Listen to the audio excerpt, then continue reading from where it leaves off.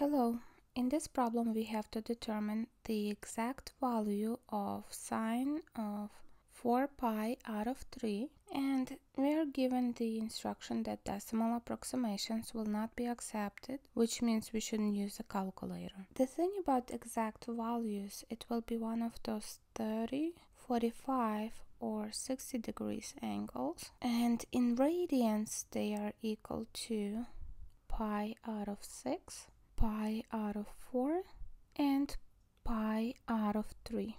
Since our angle is way more than one of these, let's begin by finding the reference angle.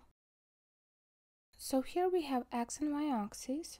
0 radians is on the positive x-axis. We have pi out of 2 on positive y-axis, pi on the negative x-axis, and 3 pi out of 2 on the negative y-axis. We are looking for reference angle of 4 pi out of 3. This ratio means that pi is being multiplied by 4 and divided by 3. If pi is being divided by 3, let's divide 1 pi on our graph into 3 equal pieces.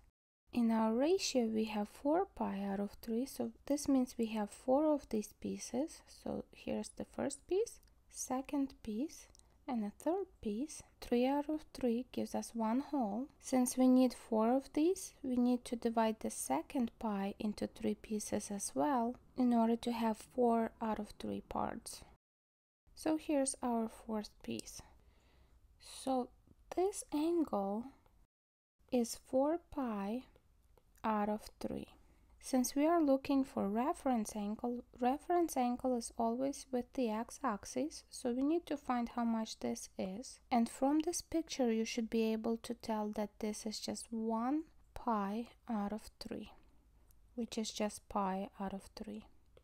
If you are not comfortable with radians, you can absolutely change 4 pi out of 3 into degrees, find the reference angle, solve the problem, and convert the answer into radians on the last step. So the reference angle for 4 pi out of 3 is just pi out of 3. This means that if we want to calculate sine of 4 pi out of 3, we can calculate the exact value of sine of pi out of 3 and get the same expression. However, since we are working with the reference angle, we need to be careful about the signs. So here we have all students take calculus. Our angle falls in a third quadrant where tangent and its reciprocal is positive, which means that sine is negative there. So in order to calculate sine of 4 pi out of 3, if we are using the reference angle of pi out of 3, we need to remember that sine is negative in the third quadrant. And now we can proceed with calculating the exact value of this expression. If you remember the ratio for sine of pi out of 3, you can go ahead and answer this question now. If you do not, it's very easy to derive a reference table. Unfortunately, it's only in degrees. So we have 0, 1, 2, 3, 4 square root out of 2 and sine goes from left to right. We have sine of 0, 30, 45, 60, 90. It's all in degrees. We are looking for reference angle of sine of pi out of 3. Pi out of 3 is equal to 60 degrees. So in this reference table for sine of 60 degrees is on top of radical 3. So sine of 60 degrees is equal to radical 3 out of 2.